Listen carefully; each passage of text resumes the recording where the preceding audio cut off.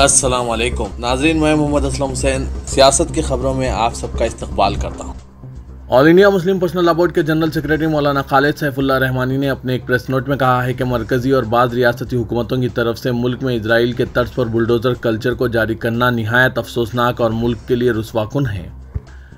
हिंदुस्तान की शुबिया एक ऐसे जमहूरी मुल्क की रही है जिसमें हर शहरी को पुरमन एहतजाज और इजहार राय की आज़ादी दी गई, लेकिन गुजशत कुछ अरसे से हुकूमत का रवैया आमरीत पसंद होता जा रहा है। कई शहरों में मुसलमानों और दलितों के मकान मामूली इल्ज़ाम की बुनियाद पर ज़मींदोज कर दिए गए हैं। एक शख्स मुद्दतों, मेहनत करके और गाढ़ा पसीना बहाकर अपना मकान बनाता है। यह मकान बनाता तो वो है, लेकिन इसके वालदेन, बच्चे, बच्चियाँ और बाज़ अवत नाबालिग भाई बहन सभी इसमें रिहाइश होते हैं। और इसको एक मुश्तरका मिल्कियत का दर्जा हासिल होता है। अब अगर इस घर का एक नाबालिग या बालिग लड़का सचमुच कहीं पथराव करने में शरीक हो गया हो तो क्या हुकूमत के लिए ये बात दुरुस्त हो सकती है कि वो एक ऐसी सज़ा दें जिसे पूरे ख़ानदान को भुगतना पड़े? बूढ़े माँ बाप और मासूम बच्चे सब इस सज़ा की लपेट में आ जाएँ।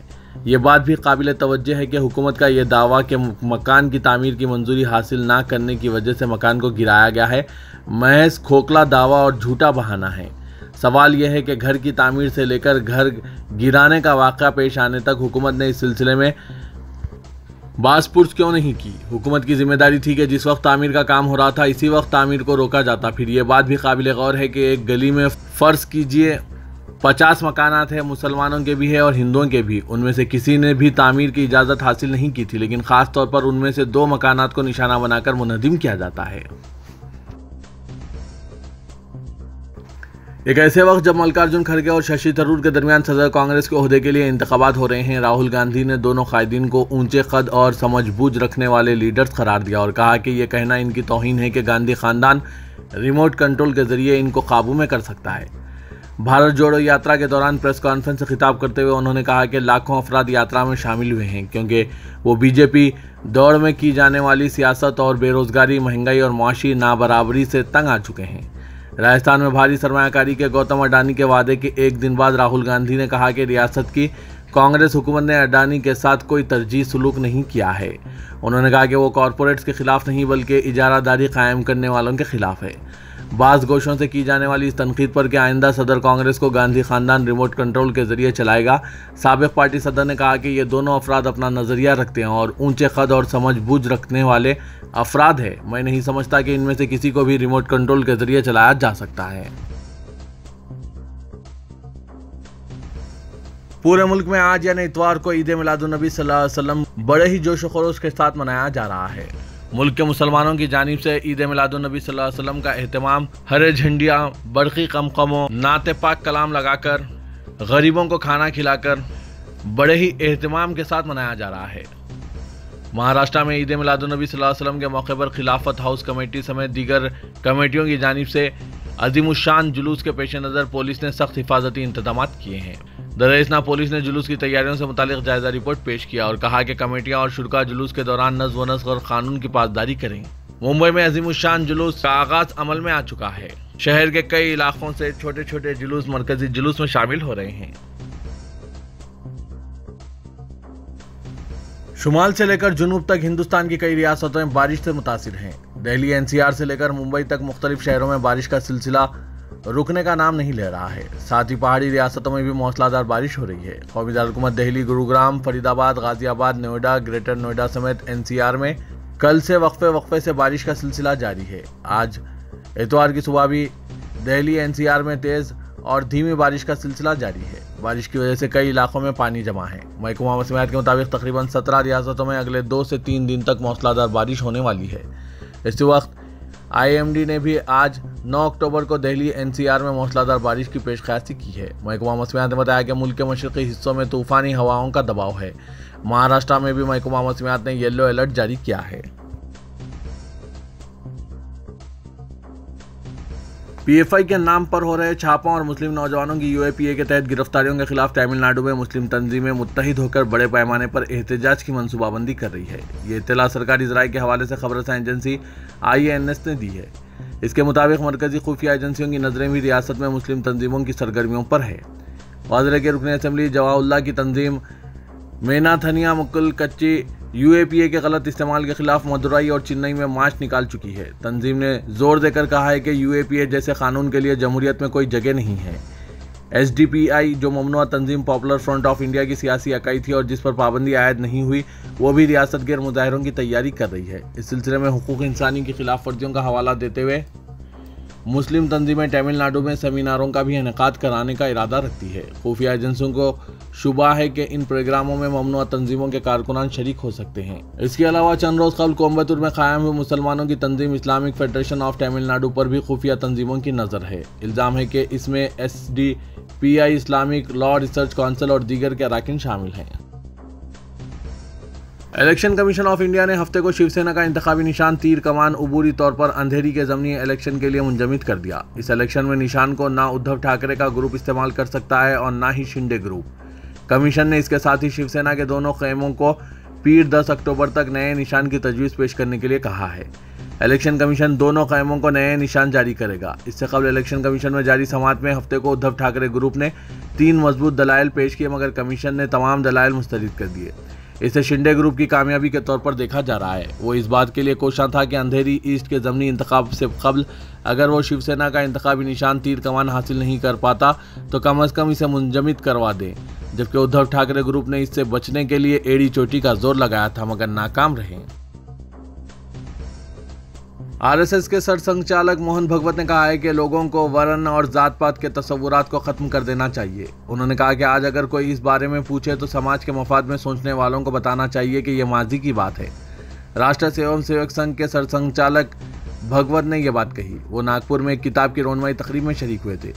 भगवत ने कहा कि समाजी तफरीक अब ख़त्म हो जानी चाहिए। उन्होंने कहा कि समाजी मसावत हिंदुस्तानी रिवायत का हिस्सा थी, लेकिन इसे फरामोश कर दिया गया। इसकी वजह से बहुत ज़्यादा नुकसान हुए हैं।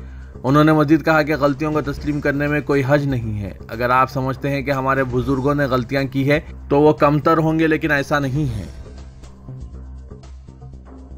जहरा वसीम, सना खान के बाद सहर अफशान ने भी शोबिज की दुनिया छोड़कर इस्लाम पर चलने का ऐलान किया है। भोजपुरी अदाकारा सहर अफशान ने भी इंडस्ट्री को खैराबाद कहकर अपनी दुनिया आबाद कर ली है। सहर अफशाह ने सोशल मीडिया पोस्ट के ज़रिए शोबिस छोड़ने का ऐलान किया, जो भोजपुरी सिनेमा की मारूफ अदाकारा सहर अफशाह ने इस्लामी तालीमत पर चलने का फैसला किया है। सहर ने यह इतला एक इंस्टाग्राम पोस्ट पर शेयर की है। अदाकारा लिखती है कि मैंने फैसला किया है कि मैं फ़िल्म इंडस्ट्री छोड़ने जा रही हूँ। अब मुझे इससे कोई सरोकार नहीं होगा। शोबिस छोड़ने के बाद अदाकारा ने अल्लाह की इबादत करने का फ़ैसला कर लिया है। वो लिखती है कि मैं अगली ज़िंदगी इस्लामी तालीम और अल्लाह के हुक्म के मुताबिक गुजारने का इरादा रखती हूँ। मैं ज़िंदगी से अपनी परेशानी तर्क कर रही हूँ। मैं अल्लाह से तौबा करती हूँ। चीफ मिनिस्टर दिल्ली अरविंद केजरीवाल ने गुजरात के वडोदरा में आम आदमी पार्टी की एक तकरीब में जय श्री राम के नारे लगाए। दिल्ली में एक मजहबी इज्तम में जिसमें सैकड़ों अफराद ने बुद्धमत इख्तियार करने का अहद किया था, इस पर तनाज़े के एक दिन बाद उन्होंने ये हरकत की। केजरीवाल ने बीजेपी को निशाना बनाते हुए कहा कि वो लोग मेरे बारे में बुरी बातें कह रहे हैं। मुझे इसकी कोई परवाह नहीं, लेकिन वो लोग मुझसे नफरत करते हैं और अपनी नफरत में इतने अंधे हो गए हैं कि वो अब भगवानों की भी तोहिन कर रहे हैं। खवलुद्दीन केजरीवाल की रैली से पहले आम आदमी पार्टी कारकुनों ने पार्टी के खिलाफ लगाए गए पोस्टर निकाल दिए। उन्होंने जलसे के मुकाम तक पार्टी सरबराह के रास्ते पर लगाए गए पोस्टर और बैनर निकाल दिए। दिल्ली में आम आदमी पार्टी के वज़ीर बरए समाजी बहबूद राजेंद्र पाल गौतम के मुबैना मुखालिफ हिंदू बयान के खिलाफ एहतजाज करते हुए गुजरात में हुक्मरान बीजेपी के हामियों ने आज की रैली से पहले आम आदमी पार्टी के बैनर्स फाड़ दिए थे। एक ऐसे दिन जब बारिश हो रही थी, तिरंगा रैली मुखर्रा वक्त से तकरीबन तीन घंटे बाद चार बजे दिन शुरू हुई। केजरीवाल ने हिंदू देवी मालाई हवाले देते हुए इल्ज़ाम आयद किया कि बीजेपी ने देवी देवताओं की तोहिन की है। उन्होंने अपने आप को कट्टर भक्त बताते हुए जय श्री राम और जय श्री कृष्णा के नारे लगाए। यहाँ ये तस्करा मुनासिब होगा कि दिल्ली के वज़ीर राजेंद्र पाल गौतम का एक वीडियो वायरल हुआ था, जिसमें इन्हें तब्दीली मज़हब की एक तकरीब में हिस्सा लेते हुए दिखाया गया था। इस तकरीब में हिंदू देवी देवताओं की मुबैना तौर पर तोहन की गई थी। सैकड़ों अफराद ने बुद्धमत इख्तियार कर लेने और हिंदू देवी देवताओं को भगवान ना मानने का अहद किया था।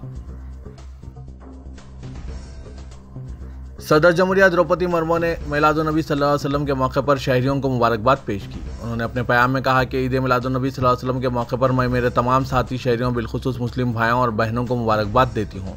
सदर जमहूरिया ने कहा कि पैगंबर हज़रत मोहम्मद वसल्लम ने दुनिया को रहमदिली सादगी और इंसानियत की खिदमत का दर्ज दिया है। आपका प्याम हम सब में, हम आहंगी व भाईचारे की राह पर चलने की तहरीक पैदा करता है। हमें हज़रत मोहम्मद मुस्तफ़ा वसल्लम से तहरीक हासिल करते हुए हमारे मुल्क की तरक्की के लिए जद्दोजहद करनी चाहिए। मक्के मुकरमा में खातिन रजाकारों ने जायरीन की रहनुमाई मम्मर माजूर और गुमशुदा अफराद की मदद की। गुजशत रोज़ पच्चीस गर्ल स्काउट्स ने दो मुकदस मसाजिद के उमूर की जनरल प्रेसिडेंसी में रजाकाराना खिदमत में हिस्सा लिया। इन गर्ल स्काउट्स ने ज़ायरीन की रहनुमाई की मम्मर और माजूर अफराद की मदद की और गुमशुदा अफराद को अपनों से मिलाने के कामों में हिस्सा लिया। रजाकाराना खदमात के इदारों की गर्ल्स स्कॉट्स ने दो मुकदस मसाजिद के उमूर की जनरल प्रेसिडेंसी के ताउन से खदमात में बढ़ चढ़कर हिस्सा लिया। मक्के मुकरमा में जनरल एडमिनिस्ट्रेशन ऑफ़ एजुकेशन के अकाउंट ने गुजतर रोज़ मक् मुकरमा में गर्ल स्काउट्स की शिरकत की तस्वीर शाये की। ग्रेटर हैदराबाद म्यूनसिपल कॉरपोरेशन की जानब से शहर हैदराबाद में 411 बस शेल्टर तामीर किए जाएँगे ताकि मुसाफिर के लिए सहूलत हो और मौसमी हालात से तहफुज हो सके। तेलंगाना आरटीसी ने बस शेल्टर्स के मकाम की निशानदही की है कि जबकि जीएचएमसी ने तामीर के लिए फंड्स तलब किए। जिसे बिल्ड, ऑपरेट एंड ट्रांसफ़र असास पर शुरू किया जाएगा। जगह की दस्तियाबी के लिहाज से शेल्टर्स मुख्तलिफ़ साइज़ के होंगे और इनमें सहूलतें बशमूल बस स्टॉप साइज़ रोशनी, खातिर ख्वा बुलंदी और चौड़ाई होगी। शेल्टर्स की दूसरी खसूसियात में पैसेंजर इंफॉर्मेशन सिस्टम शामिल है। बल्दी हुकाम ने कहा कि हालाँकि इन तमाम बस शेल्टर्स में एयर कंडीशन नहीं होंगे, तहम हर एक बस शेल्टर्स में एक फ़ैन लगाया जाएगा। चीफ मिनिस्टर के चंद्रशेखर राव, टीआरएस को एक सेकुलर जमात और हिंदू मुस्लिम दोनों को अपनी दोनों आँखें करार देने के मामले में ये कहते थकते नहीं हैं और तेलंगाना को गंगा जमनी तहजीब का गहवारा होने का दावा करते हैं। इनकी ये फ़िक्र और सोच काबिल सतश है, मगर खाली जुमले अदा करना काफ़ी नहीं है, बल्कि इस पर अमल करना भी ज़रूरी है। बातें करना अलग है और इस पर कायम रहना अलग है। चीफ मिनिस्टर के सी आर एक तरफ़ मुल्क में नफरत फैलाने और मज़हब का इस्तेसाल करने का बीजेपी पर इल्ज़ाम आयद कर रहे हैं। फिरका परस्त बीजेपी को इकतदार से बेदखल करने के लिए कौमी सियासत में सरगर्म रोल अदा करने का ऐलान कर रहे हैं। मगर टी आर एस पार्टी के हलकों में भी बीजेपी नज़रियात फ़रोग पा रहे हैं, जिसका मुहासबा करना चीफ मिनिस्टर के सी आर के लिए बेहद ज़रूरी है। पहले अपनी पार्टी में सर उभारने वाले फिरका परस्तों का खात्मा करते हुए आग भड़काते हैं। तो समाज के तमाम तबक़ात इन पर भरोसा करेंगे। वरना इन्हें मुल्क की सबसे बड़ी अकलीत की तायद से महरूम होना पड़ेगा। रियासत तेलंगाना में 48 घंटों के दौरान दो अजला में दो वाक़ात पेश आए हैं और इन दो वाक़ात में हुक्मरान जमा टी आर एस के सरपंचस मुलविस है। जिला संगारेड्डी के कंडी मौजा के एक टांडे में मस्जिद पर भगवा झंडा लहराया गया और मस्जिद के दीवारों को जाफरानी रंग से रंग दिया गया, जिससे मुसलमानों के जज्बात मजरू हुए हैं। जिला महबूबनगर के हंडवाड़ा मंडल में एक और गैर इंसानी वाक़ पेश आया है।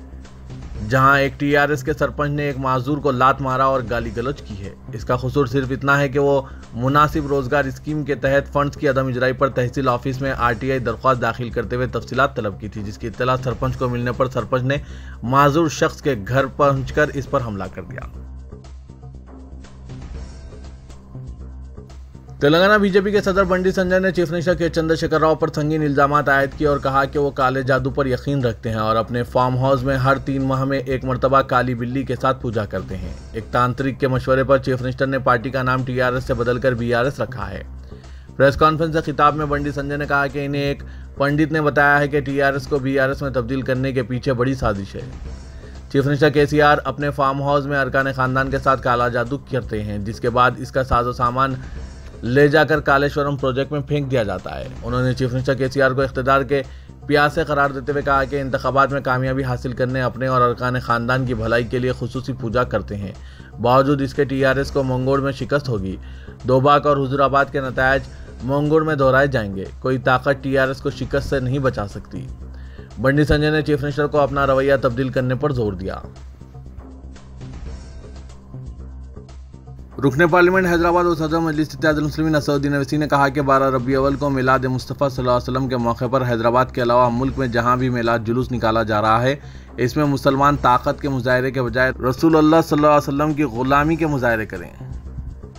इश्क व मोहब्बत और इतिहाद के मुजाहरा करें। जुलूस में पागलों की तरह नाचने गाने के बजाय बावजू रहकर दुरुद शरीफ का विरत करें।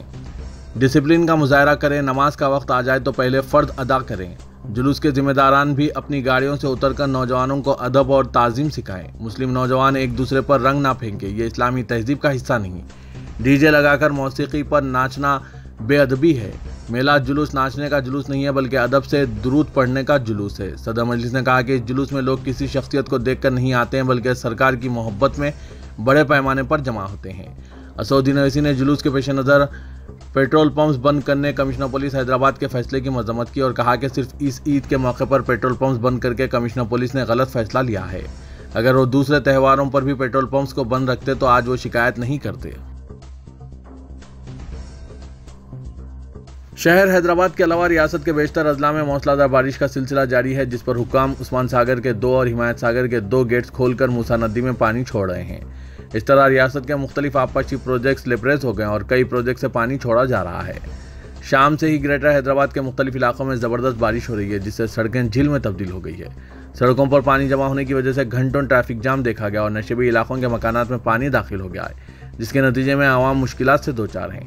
जीएचएमसी का इमरजेंसी अमला पानी की निकासी और पुलिस अमले को ट्रैफ़िक बहाल करने में मसरूफ देखा गया।